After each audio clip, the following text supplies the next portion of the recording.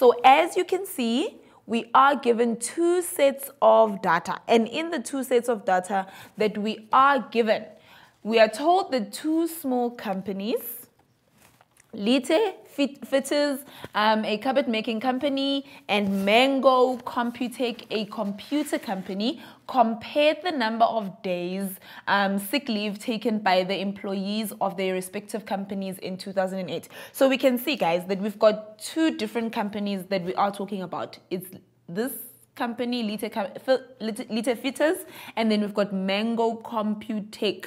Okay, I've just covered that, and that is not okay. Um, I won't cover it. So there it is. Both companies have employed 12 workers and then we've got the following number of sick days. So it's 12 workers and basically how you would interpret something like this. One worker took one sick leave day, one worker took two sick leave days, one worker took three, another three, another eight, another eight. And if you look at this data, guys, this data has already been arranged.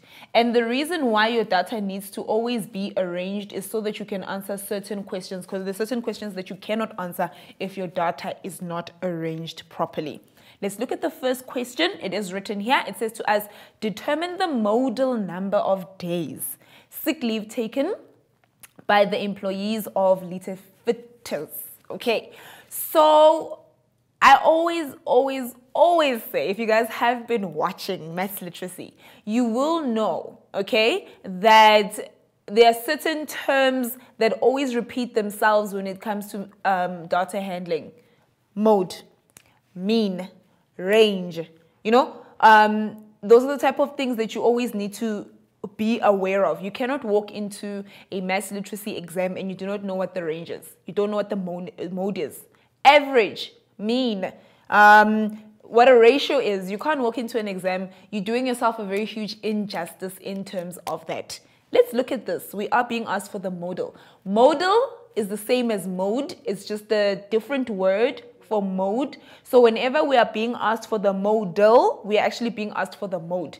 Mode is the number that occurs the most compared to the other numbers. So if I've got 2, 2, 3, 3, 3, 3 is going to be my mode or my modal number. Why is 3 my modal number? Because it occurred way more than all the other numbers. Let's go see in terms um, of Lite Fitters which one occurs the most. So if we look at our data here, guys, we've got 3 that is occurring two times We've got 8 occurring two times. Um, oh, sorry, 8 occurs four times. You see, nice one. Already I'm picking up something over there. 8 is occurring four times. So 9, 2, 10, 2. Automatically, 8 becomes my modal number. And I'm going to go and write it at the bottom there. 4.1.1 modal. You don't have to write what I'm writing right now. Is going to be 8 eight um, sick leave days is going to be your modal. Let's go up. Determine the range of the number of days sick leave taken by the employees. The moment you hear the word range, you know it's going to be the biggest number minus the smallest number. And be careful because you can see they're changing around. This time is for Mango Computech. Okay, so range is equals to max maximum number ne maximum number minus minimum number. Maximum number for Computech Mango Computech is 10 the smallest number is 0 so we have to use it as it is. Because 0 is the number. There we go. And because there's no um, unit of measurement. It's not 10 centimeters, 10 millimeters. If that were the case, we were supposed to write the unit of measurement. So now it's just the, the sick leave days. 4.1.3. Determine the median number of sick days from the Mango Computech company. So in this particular case, median is the most middle number. A lot of learners get confused between the median and the mean. Don't do that to yourself. Median, it almost says to itself, middle, you know? Um, and then let's go back to see what the median in this particular case is. There's, there's, there's a number of ways that you can find the median that I've also seen learners doing as well. Some learners um, will cancel, they'll do this. They'll cancel here, cancel here. You see what I'm doing? I'm canceling um, going backwards to see which number is left in the middle. Now look at this, guys. I have two numbers that are left 4 and 5 in the middle. So because there's two numbers and it's not one number, if it was one number, I would have written the number as it is. But because it's two numbers, I literally have to add the two numbers, which is 4 and 5. And if I've got two of them, I need to add them and divide them by 2. You can only have one number. So it's going to be, I hope that the calculator is visible it's going to be 5 plus 4 divided by 2, and it's going to give me 4 and a half, which is 4.5. So my median is 4.5. Okay, so that's going to be my median. Okay, let's go now and go to the next question. The next question says to us, calculate the mean average. Mean is the same as average, number of days sick leave for the employees of Mango Computech. Round the answer off to the nearest whole number. We're doing two things over here, guys. We're calculating the mean and we're also rounding off. Again, a lot of learners like ignoring this. If you are asked to round something off, it means you're getting a mark for rounding it off. So again, we're working with Mango Computech. Let's go now and add all of those numbers together because we are looking for the mean. Whenever you're looking for the mean of something, you add all the numbers together and you divide it by the number of numbers that exist. So in this case, it's going to be 0 plus 0 plus 1 plus 2 plus 3 plus 4 plus 5 plus 6 plus 7 plus 8 plus 8 plus 10. How many numbers do we have? We have 1, 2, 3, 4, 5, 6, 7, 8, 9, 10, 11, 12, 13. Do we have 13 numbers? 1, 2, 3, 4, 5, 6, 7, 8, 9, 10, 11, 12. 1, 2, 3, 4, 5, 6, 7, 8, 9, 10, 11, 12. So because we've got 12 numbers, we have to divide by 12. So you add the numbers and you divide by the number of numbers that exist there. Let's go now and use our calculator to add all of that together.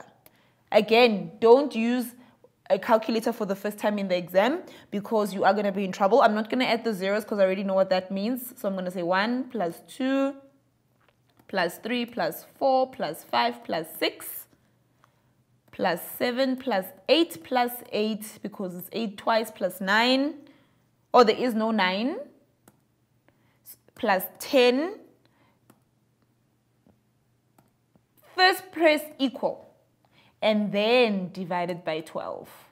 So that's going to give you 6 and 3 quarters, which is going to probably be 6, yes, 0.75. So it's 6.75 and now we've got that, okay? Can you see how I have been flowing? I have literally, guys, all I've been doing is flowing because I know what a mean is. I know what a range is. I know what a median is. I know what a mode is. That's the type of stuff you need to go into the exam and not panic about. You cannot be panicking about a mode, an entire mode, guys. No. The next question says to us, what is the range in simplified form? Oh, sorry.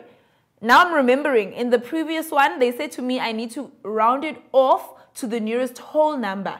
Anytime you round something off to the nearest whole number, it means there must not be a comma in it. Let's go round it off quickly before we do the next one. So I'm going to round that off. This number here is going to determine what happens to that whole number over there. Because it's bigger than 5, it's 5 and greater. If it was 4 and below, it would have been 6. But because it's, it's greater than 5, it's going to be 7. There, I've rounded that off. I've gotten all my marks. Okay, now we can go to the next question. So the next question says, what is the ratio in simplified form?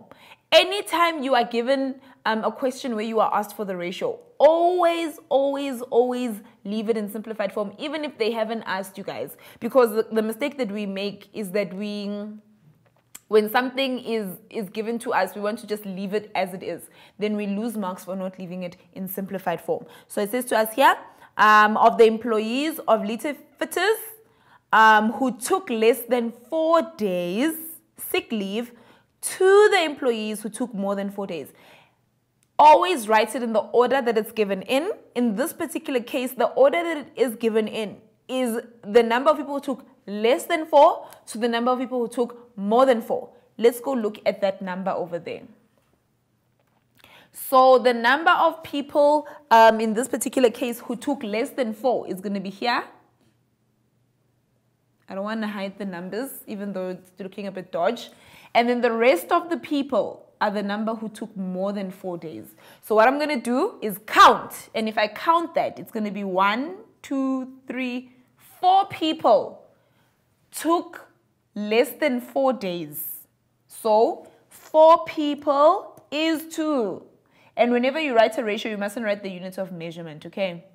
Um, so now I'm scrapping out that because I've already used those numbers. Four people is to one, two, three, four, five, six, seven, eight. Four is to eight people. That's the ratio, but that ratio is not simplified. If I want to simplify my ratio, I look at both numbers and then I think of a number that can go into both numbers without leaving a remainder. Okay? So in this particular case, I can automatically see that 4 can go into both numbers. 4 goes into 4 once. So I divide this side by 4. I divide this side by 4. 4 goes into 4 once. 4 goes into 8 twice. So my simplified ratio is 1 is to 2.